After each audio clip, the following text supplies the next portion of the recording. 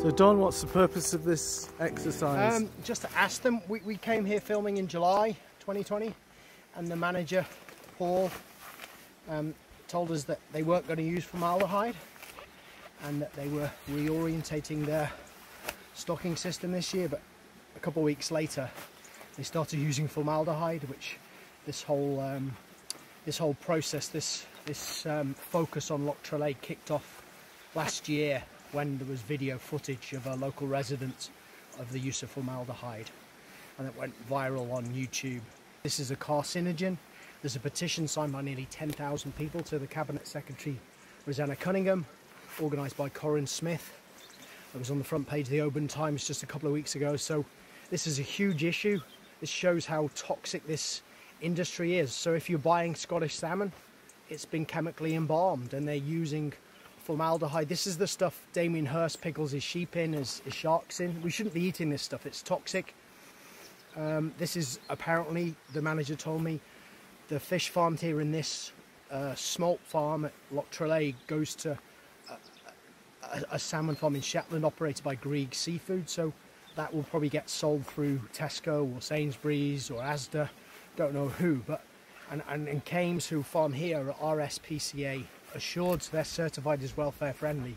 Is there any uh, restriction on how much formaldehyde they can use? I think SEPA have some restrictions, but the actual reporting and monitoring of what they use on a daily basis doesn't seem to be there. SEPA is supposed to be a watchdog, but it's more of a lapdog.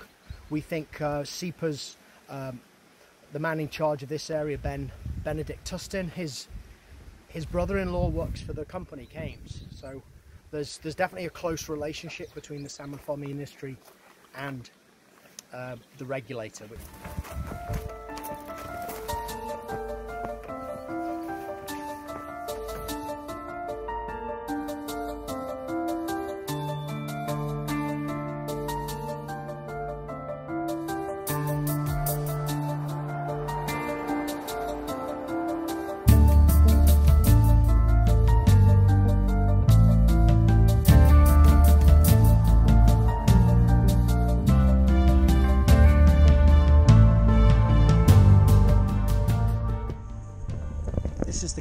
Truck that's used to transport toxic chemicals. There's various government regulations on the transport of hazardous goods. Not sure that Kames is following them.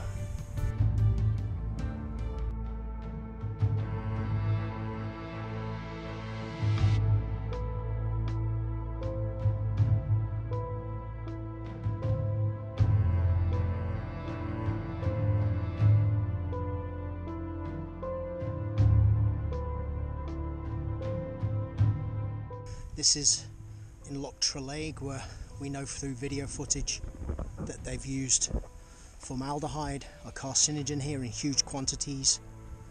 So this is the the containers, four containers full of formaldehyde solution. This is formalin, this is a carcinogen. We've seen video footage of this piled up at Mowi and Scottish Salmon Company sites, also at Kames land base, but here they are using it on Scottish salmon. Fish feed can be sourced from South America, from anchovies. We're draining the world's oceans uh, of, of wild fish to, to fuel the expansion of salmon farming via fish oil and fish meal, which is using up vast quantities of the world's fish supply. We know companies are going down to Antarctica searching for krill for use in fish feed. We know that companies linked to deforestation in Brazil via the use of soya in fish feed happens. Um, EWOS feed, additives, vitamin D. They put uh, artificial colourings in salmon feed. It's got fish meal, wheat, gluten, horse beans, guar gum. They also put uh, a flame retardant in there to, to stop the, um, the the fish feed exploding in transit from predominantly from uh, South America where they're robbing Pedro to pay Paul. This is the Label Rouge standards. Stuart Cannon, the boss of this company, was awarded a prize a couple of years ago for his leadership of the industry, but we don't think that using carcinogenic chemicals directly into a freshwater lock is leading the way. So this is an industry that's operating in public waters using cancer-causing chemicals. This is a legitimate public interest issue, calling on SEPA to do greater monitoring and testing, banning the use of formaldehyde, calling for a public register of all salmon farms like this one for toxic chemicals, not just for formaldehyde. The industry wants to use the neonicotinoid imidacloprid.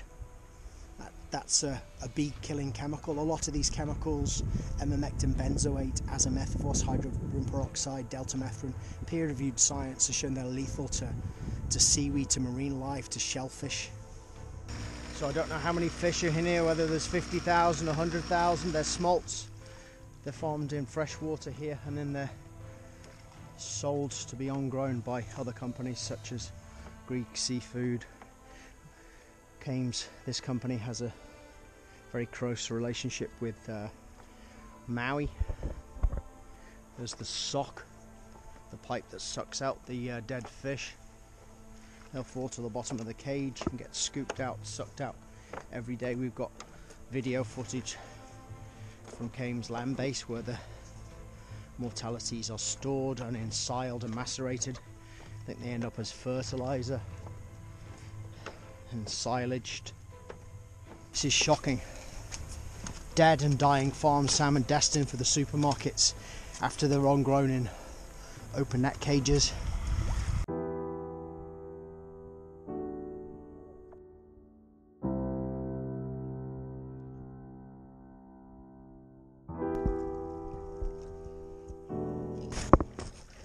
So this is uh, some sort of be saprolegnia or some kind of fungus, but this is a fish that's been RSPCA assured.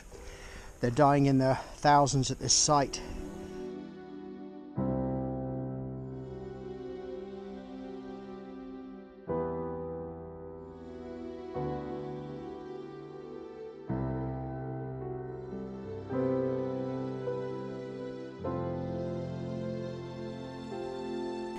We know that fish experience pain.